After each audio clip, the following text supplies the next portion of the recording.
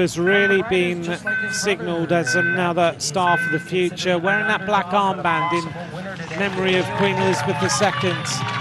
And he's underway then for Great Britain. Leo Hayter leaving nothing to chance with that ceramic chain on the bike, trying to stay as aero as he possibly can. Well, he's got good cadence and he's in a pretty big gear, so that indicates that he's moving pretty fast. Really using every inch of the road as well. That pedaling action has got to be absolutely perfect. Look at that. He's 23.41 seconds ahead of the Danish rider, who kind of looks at the time in disbelief. Fantastic ride from Leo Hayter. He has ridden a superb time trial this afternoon.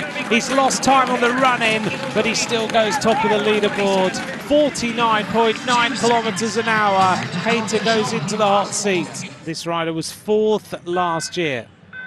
Can he now produce the performance in the same way that Tobias Foss did yesterday?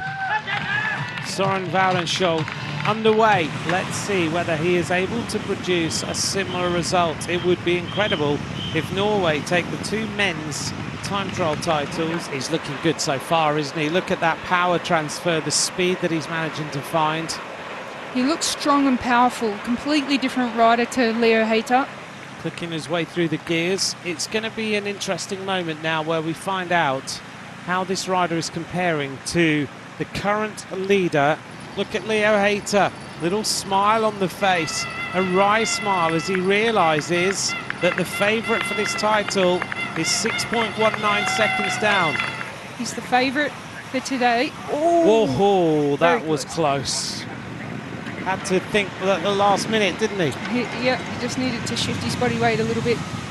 He's found a huge amount of time, Rochelle, on that second loop. Here he comes, the big Norwegian, the favourite for today's race. Is this going to be another medal for Norway? Is it going to be gold? Now it's Søren Wærenskjold who makes his way across the line and goes into the hot seat. 24 seconds is the beating of Leo Hayter. This is Logan Currie from New Zealand, the Oceania time trial champion at under 23 level. Underway for Logan Currie. This is Alex Segaert one of the top three race favourites for today. European champion of the time trial. A big moment for him. Off the start ramp, the penultimate rider to take the start of today's time trial.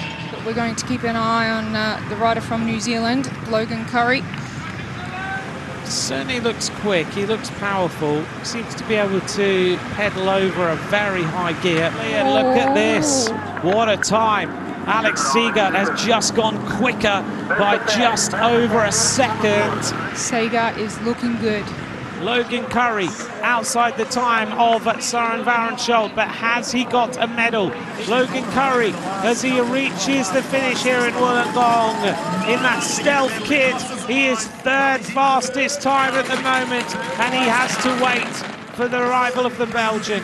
Alex Segaert heading now towards the split intermediate two and it's gonna go past. Suddenly it goes back in the favor of the norwegian. Second fastest time. Yeah he's happy to see that isn't he? Look at the time now. 10 seconds he needs to get to the finish line. It's clocking its way down. He's got 300 metres to go, but it goes red. The world title goes to Norway. Again for day two. Søren Wærenskjold will be the world champion. Alex Segaert, what's it going to be? It's going to be silver. The Belgian rider finishes second, but two days and two Norwegian gold medals. The favourite for the race, Soren Takes the victory 24 years after Thor Hushovd. Søren Wærenskjold wins the world title for Norway to add another rainbow jersey to their collection.